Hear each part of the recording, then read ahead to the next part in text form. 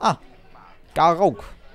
Heda, seid ihr vielleicht daran interessiert, Pasag-Karten von einem alten Mann zu kaufen, der mit dem Spielen aufhören will? Für nur 50 Credits verkaufe ich euch all meine Karten. Ich lege sogar gratis eine Lektion drauf, wie man spielt. Ein ausgezeichneter Deal, wenn ihr ihn euch leisten könnt. 50 Credits sind ja mal gar kein Problem für uns. Sicher doch, ich kaufe eure Karten. Was habt ihr Glücksspiel aufgegeben? Warum? Ihr habt das Glücksspiel aufgegeben. Warum? Versteht mich nicht falsch. Das Spiel war gut zu mir. Ich habe die Galaxis bereist, von den Welten im galaktischen Kern bis hin zu den fernsten Grenzen des Outer Rim. Ich habe ein Vermögen gewonnen und mindestens ebenso viel verspielt. Doch das war vor langer Zeit.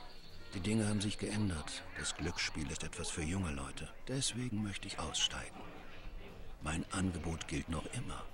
Für 50 Credits bekommt ihr meine alten Parsag-Karten gratis dazu eine Lektion. Ein ausgezeichneter Deal, wenn ihr ihn euch leisten könnt.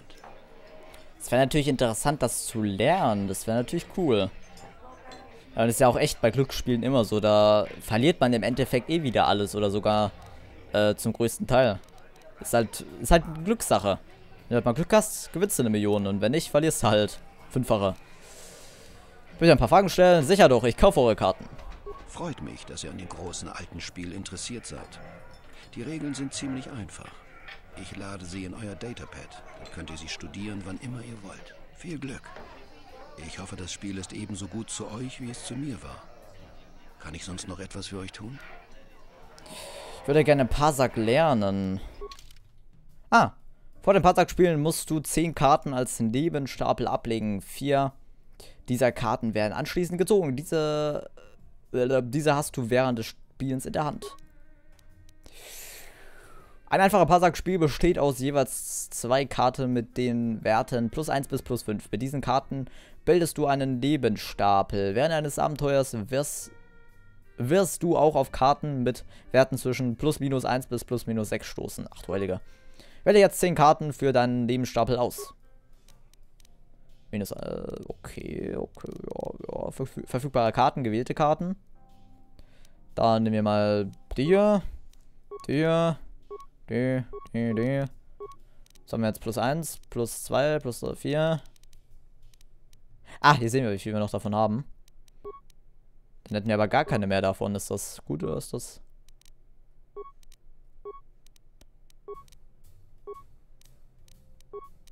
So, vielleicht? Na, machen wir mal spielen. Willst du diesen Lebensstapel wirklich verwenden? Ich habe keine Ahnung, ich habe es noch nie gespielt. Also ja. Ziel des Spiels ist es, mehr Punkte zu haben als der Gegner. Hast du allerdings mehr als 20 Punkte, verlierst du. Hat ein Spieler am Ende einer Runde mehr als 20 Punkte, also einer, einen sogenannten Bust, gewinnt der Gegner den Ersatz. Ein Spieler muss drei Sätze gewinnen, um die Partie für sich zu entscheiden. Ach, Besteller gegen Gegner. Der erste Spieler zieht automatisch eine Karte des Hauptstapels und spielt diese aus, um die Runde zu eröffnen. Das ist deine, das ist deine Hand für diese Partie. Die vier Handkarten werden vom zuvor abgelegten Nebenstapel gezogen. Mit dieser Karte musst du die gesamte Partie bestreiten. Hat ein Spieler eine Karte gezogen, darf er auch eine der Karten in seiner Hand ausspielen. Vor Runde kann nur eine Handkarte ausgespielt werden. Ziehe diese dazu über das, ba über das Ballett, würde ich ihm lesen, über das Brett. Oder spiele sie per Doppelklick aus. Natürlich musst du keine Handkarten ausspielen. Tipp, wenn du mit einer gezogenen Karte über 20 Punkte kommst, kannst du eine Negativkarte ausspielen, um deine Gesamtpunkte wieder unter 20 zu drücken. Aha, dafür sind die Negativkarten. Gut. Einige Karten können mit positivem oder negativem Wert ausgespielt werden. Diese Karten sind äußerst selten, eröffnen aber ungeahnte taktische Möglichkeiten. Ungeahnte taktische Möglichkeiten. Habt ihr das gehört, Leute? Der Wert einer Handkarte, positiv oder negativ, muss vor dem Ausspielen angesagt werden. Ist die Karte ausgespielt, kann ihr Wert nicht mehr geändert werden. Du kannst halten oder die Runde beenden. Wenn du die Runde beendest, ziehst du am Anfang der nächsten Runde eine neue Karte. Willst du die Option halten, darfst du keine weiteren Karten ziehen und kannst erst im nächsten Satz wieder eine Handkarte ausspielen. Spiele jetzt eine Handkarte aus, beende die Runde oder wähle die Option halten. Alter Schwede. Okay, Bastilla. Wir haben jetzt, also jetzt, äh, beenden, halten. In der Hand Spieler. Äh, Moment. Pro Runde kann maximal eine Handkarte ausgespielt werden. Schließlich musst du mit den vier Karten in deiner Hand die gesamte Partie bestreiten. Also jetzt Runde Ben, würde ich mal sagen. Für deinen Gegner gelten dieselben Regeln wie für dich. Er zieht in jeder Runde eine Karte und hat die Möglichkeiten, eine Handkarte auszuspielen. Du zu halten oder die Runde zu beenden. Eins. Vier. 14 habe ich jetzt. Dann nehmen wir jetzt mal 5. Dann haben wir 19. Runde beenden. Wenn du die Runde beendest, ziehst du am Anfang der nächsten Runde eine neue Karte. Denk daran, dass dein Gegner den Satz gewinnt. Ah, warte, stimmt, da müssen wir erhalten.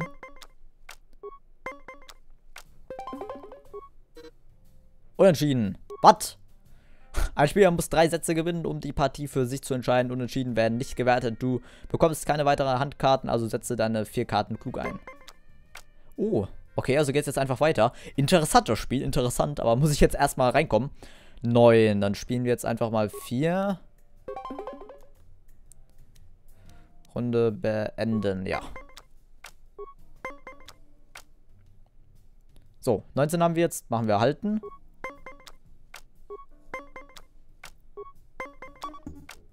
21. Ja, ich habe gewonnen. Ha. Ein Spieler muss drei Sätze gewinnen, äh, für sich zu entscheiden, unentschieden, werden nicht gewertet. Du bekommst eine weitere, keine weitere, äh, ja.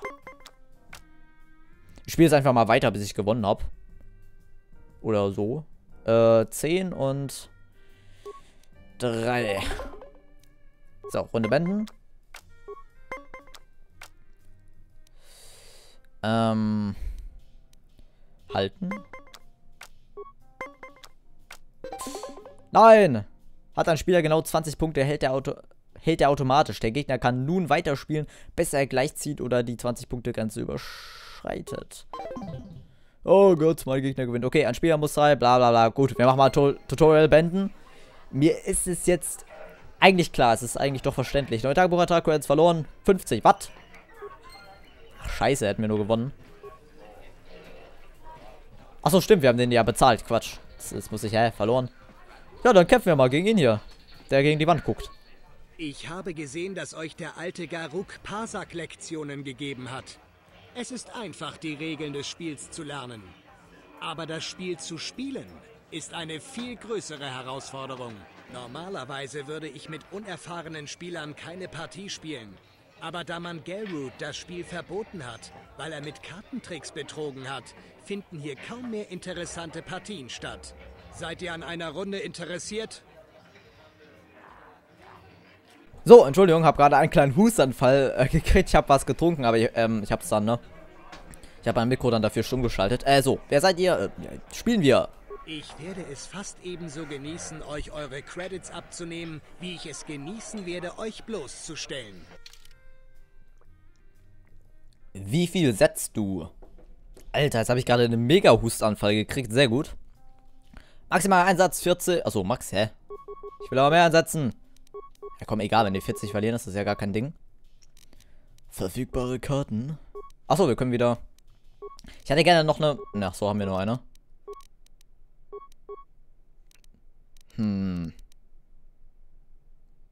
Plus 1. Ist das so gut? Vielleicht eher... Bei den ganz hohen bin ich mir nicht so sicher, aber eine können wir auf jeden Fall... Ja, machen wir mal. Willst du diesen Nebenstapel wirklich verwenden? Ja. Ähm, ähm, ähm. Und jetzt plus 4. Und Runde beenden.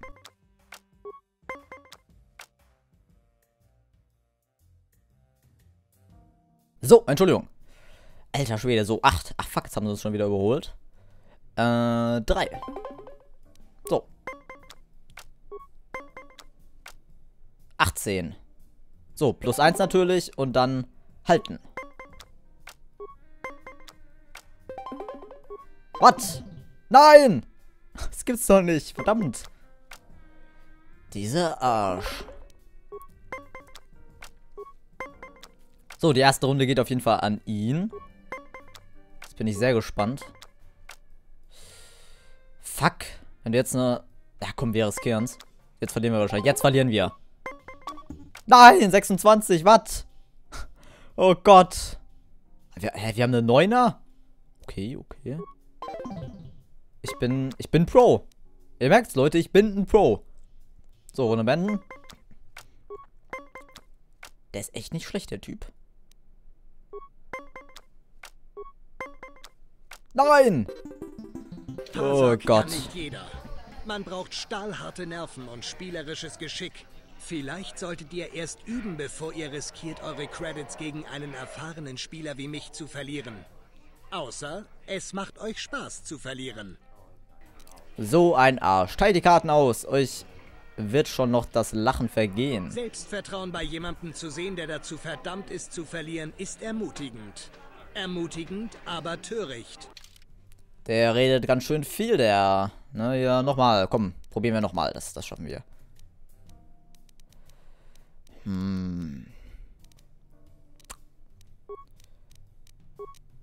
So. Okay. So. Ähm. Runde beenden. Dann setzen wir plus 3. Nein, das gibt's doch nicht. Ach, verdammt, der hat schon wieder gewonnen. Nein. Oh Mann, ey. Ich glaube, wir werden echt verlieren gehen. Ich bin, ich bin dafür echt noch nicht gut genug. Aber ist cool. Ist echt cool. Äh, ja, man merkt es jetzt schon, er hat ja immer noch drei Handkarten. Das heißt, der... Der weiß schon, wie es geht, auf jeden Fall. Ja, soll ich jetzt... Ja, komm. Benutze mal die minus 2 Karte. Ja, ich weiß jetzt schon, dass der exakt auf... Wir müssen halten. Ja, ich habe gewonnen. Jawohl, er hat einen Fehler gemacht. Boah, das war jetzt aber Glück. Aber ich habe keine Handkarten mehr, das ist das Problem. Er hat noch welche und das heißt... Ich bin mir jetzt echt sicher, dass er gewinnen wird. Es wird er entweder auf 19 oder 20 kommen. 26! Ja, er hat schon wieder einen Fehler gemacht.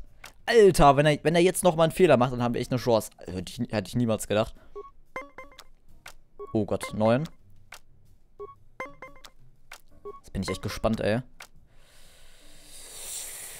Was? Nee, das kann ich nicht riskieren. Ne? Ja, nee, jetzt wird er gewinnen. Alter Schwede. Alter Schwede, nicht übel. Und er hat immer noch seine drei Handkarten, ey, bei dem... Bei dem läuft's ja.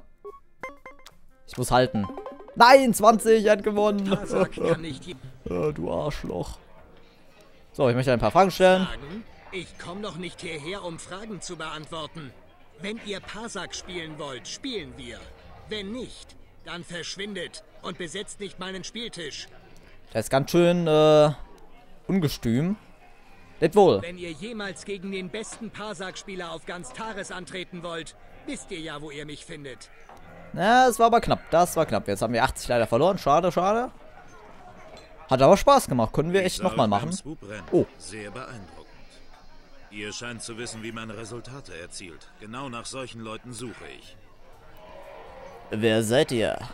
Ja, frage ich mich jetzt auch. Wer ist denn das? Ich bin Kenrus Ordo. Ich arbeite für David Ah. Und die Tauschhändler. Sie haben mir dafür ein Vermögen versprochen. Und da ich ohnehin nichts Besseres vorhatte, mandalorianische Söldner wie ich sind sehr gefragt.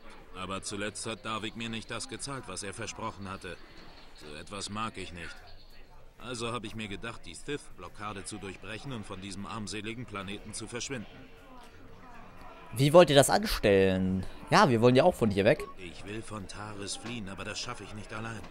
Ich brauche jemanden, der mir dabei hilft. Und jetzt kommt ihr ins Spiel. Vorsicht! Söldner wie der da haben nicht die Spur eines Gewissens. Sie betrügen, wo sie nur können. Könnte eine Falle sein. Ich spreche nicht mit euch, sondern mit eurem Kumpel hier, klar? Ich sah euren Sieg beim Swoop-Rennen und hab mir gedacht, wer so verrückt ist, ein solches Rennen zu fahren, ist vielleicht auch verrückt genug, in die Militärbasis der Sith einzudringen. Ja, Ich vielleicht. brauche jemanden, der mir die Startcodes der Sith aus der Basis besorgt. Ohne diese Codes wird jedes Schiff, das die Atmosphäre verlässt, von den automatischen Abwehrgeschützen der Sith-Flotte deaktiviert. Was habe ich davon? Warum sollte ich euch helfen? Hm. Was habe ich davon? Daher mein Vorschlag. Ihr bringt mir die Startcodes und ich besorge euch das Schiff, das uns von Taris wegbringt. Daviks Flaggschiff, die Aben Hawk. Ah, Ivan Hawk. Sehr gut, ja. Tut mir leid, kein Interesse. Wie wollt ihr das anstellen? Wie soll ich in die Militärbasis gelangen?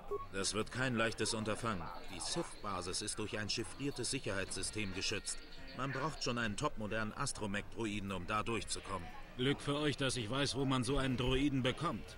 Davik hat sich eigens einen von Janice Nall anfertigen lassen. Sagt ihr, dass euch Canderous schickt. Dann verkauft sie den Droiden. Mit ihm könnt ihr dann die Startcodes aus der Sith-Basis holen. Äh, wird Davik nicht wütend, wenn ich seinen Druiden nehme? Warum macht ihr das nicht selber? Hm.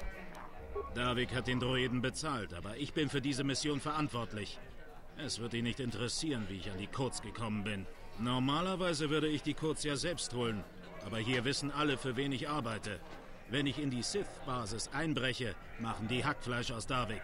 Deshalb brauche ich euch.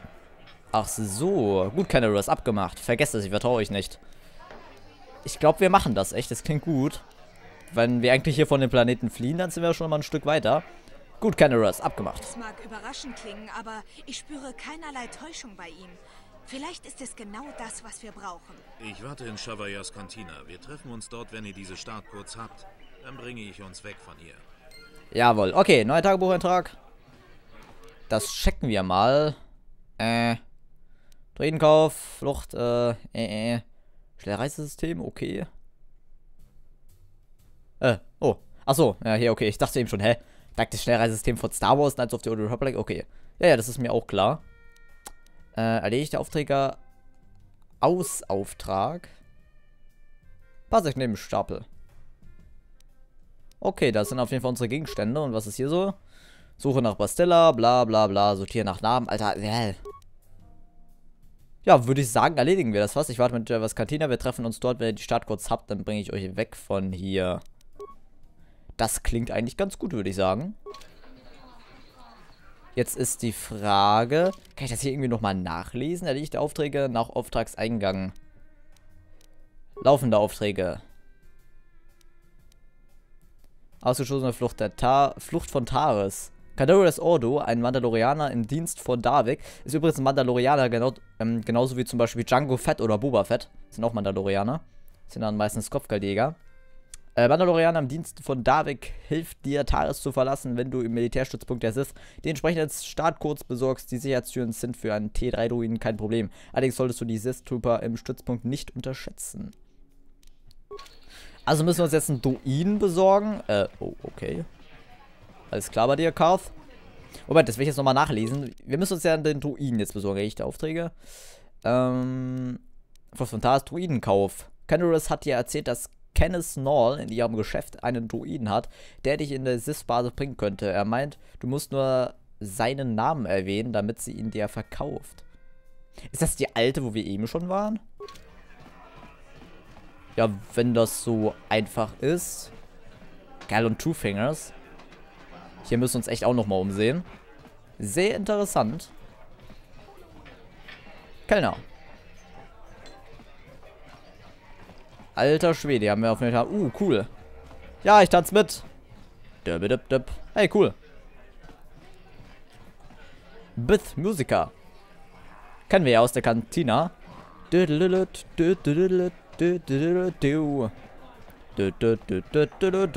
hier gerne... Alter, ich...